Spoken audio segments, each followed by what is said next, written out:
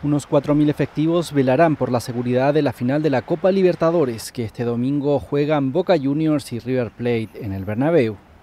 El llamado Operativo Cava, acrónimo de la Ciudad Autónoma de Buenos Aires, garantizará la seguridad antes, durante y después del partido. José Manuel Rodríguez, delegado del Gobierno en Madrid. El total de efectivos de Policía Nacional es de 2.054 el 50% de Madrid y el otro 50% de fuera de Madrid, a lo que habría que añadir 150 agentes de policía municipal para la movilidad y habría que añadir unos 1.700 guardias de seguridad privada que pone el Real Madrid, junto con las 80 personas de Cruz Roja y otras 70 de SAMUR para los servicios de protección civil y de emergencia. Además de ello, se extremarán las medidas en torno al Bernabéu.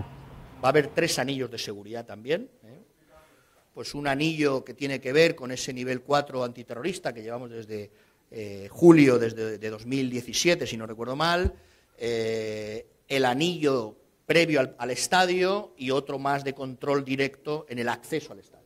Especial atención ocupan los más radicales, entre 200 y 300 de cada equipo, para un encuentro declarado de alto riesgo. Ya saben ustedes que eh, se ha devuelto una persona que tenía antecedentes penales graves, por homicidio.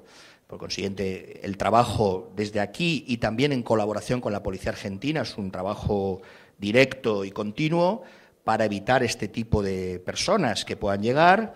Además, el Paseo de la Castellana se dividirá en dos zonas con el Bernabéu en el centro. Al norte los hinchas del Boca y al sur los del River. Ya de cara al final del partido, el dispositivo contempla que en caso de que gane el Boca, la hinchada pueda celebrarlo en la Plaza Colón.